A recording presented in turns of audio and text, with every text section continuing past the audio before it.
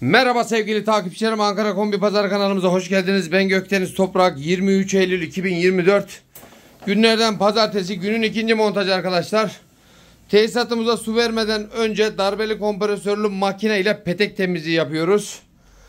Çankaya e, 40 konaklar tarafındayız arkadaşlar. Güzel bir montajın sonuna gelmek üzereyiz. Tesisatımıza dediğim gibi su vermeden önce darbeli kompresörlü makine ile petek temizliği yapıyoruz.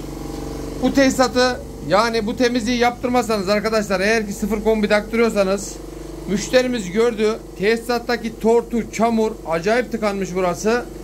Yeni kombinin içine gittiğinde kazanını tıkıyor, otomatik hava pürcörünü bozuyor, pompasını bozuyor, üç yollusunu bozuyor.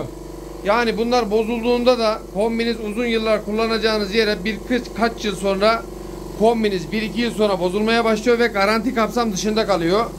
O yüzden her zaman tüm videolarımda temizlik yaptığım yerlerde söylüyorum. Sıfır kombi taktıracaksanız dünyanın neresinde olursanız olun. isterseniz arkadaşlar Avustralya'da olun en uzak ülkede.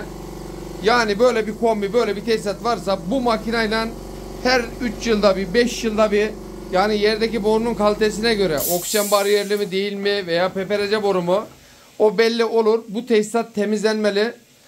Hem de kombi taktırmasanız bile şöyle şuradaki filtremiz var. Kaliferin dönüşündeki kombi devir daim yaparken en sağdaki borumuzdaki e, vananın oradaki filtremiz tıkandığında devir daim yaptığında kombi o filtre tıkandığında sadece peteklerin üstü ısınır.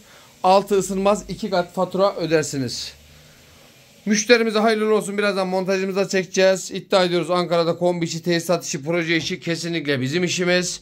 Bizden teklif ve fiyat almadan karar vermeyin arkadaşlar. Çift yönlü makinamızla temizliyoruz. Kimyasalla temizlemek de yasak. O da kombiyi garanti kapsam dışı bırakıyor. Bilginiz olsun. Lütfen YouTube kanalıma abone olmayı, videolarımızı beğenmeyi unutmayalım. Her şey gönlünüzce olsun diyoruz. Sağlıcakla kalın, hoşçakalın.